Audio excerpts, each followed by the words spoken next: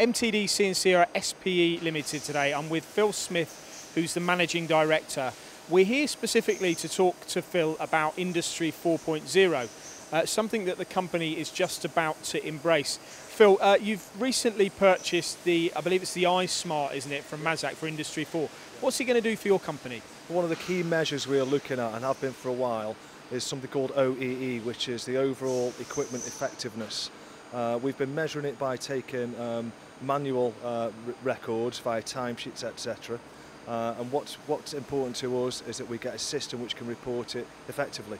Uh, that allows us then to make considered decisions on what machines we run, um, what jobs we're making uh, a decent margin on, etc. Because when I look at your factory now as a machine shop and, and a company from the outside looking in, you seem pretty efficient anyway with the way you're doing things, probably yeah. more efficient than most. Just give us a very quick overview of how you do currently do uh, measure your efficiency, and then we can look at how you're going to improve that. I appreciate the feedback, first of all. Um, I think we're, we're, efficient because we measure it, and you have to start somewhere. I think, um, like I say, we, we measure OEE monthly, it's one of our KPIs, so it's all about getting the correct information and accurate information. Um, and how, how's that process done now, before iSmart? Sorry, yeah, at the moment we, we take, um, everybody fills in a timesheet. So in 15 minute blocks they record whether the machine's running or not.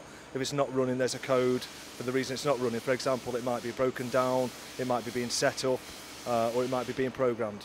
And then do you analyse this information that you're currently taking and try to make improvements uh, in the factory? Yes, we do. Obviously, the simple one to look at is if you've got a lot of downtime due to breakdowns and you've got a maintenance issue.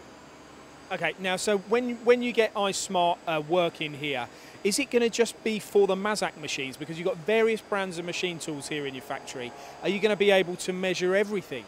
Yes, we are. It's going to be for all the, the production CNC equipment. And what sort of information is it going to spit out uh, into some kind of central database or cent central area? Yeah, we're, we're really going to be concentrating to begin with on the OEE uh, measurement but it can also be used for uh, analysing tooling. Say if you've got um, a complex job with a, uh, a suite of tools, you can look at the performance of those tools. So maybe we'll get into that into the future. So that's quite interesting. It doesn't tie you down to one brand. You, you can roll it out, older machines, new machines from other companies. It, it can do everybody's. Yeah, we're going to use it for all of our machines. Um, the £3,500 for the software covers a 10 user license or 10 machine license, so we'll go beyond that. But yeah, we'll use it for everything. So what's the ultimate aim for you then? I mean, what, what do you want to do? Is this a way of you telling your customers or giving them more traceability or more visibility on what you're up to? Is that, is that an important part as well? Can they dial in? Yeah, definitely. That's what we want to use it for in the future. Um, a lot of our uh, customers uh, have portals which we can log on to to see the work schedule and things like that and we want to flip it around and give them the same kind of visibility. So the idea if we've got a cell working on a schedule of parts, they can log onto our system and see where the parts are in the schedule.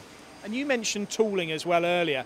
Some of the things we've learned about Industry 4 is it's, it's, it's about optimization, isn't it? It's about getting the best out of the machine, looking at uh, whether you're, yeah, what forces are being applied to the spindle, uh, what the tool wear rates is. This covers yeah. all that as well. It does, yeah. Yeah, you, you, you can look at all kinds of tooling applications. And, and for you as a business, this, like I said already, looking from the outside looking in, you, some might say, well, why do you need to do this? You're successful. Um, you, you, invest a lot. You've got great equipment. You, you look like you've got a good team. Uh, is this a necessity for you, or is it just something that you're you're going to you know bring into the company as a nicety?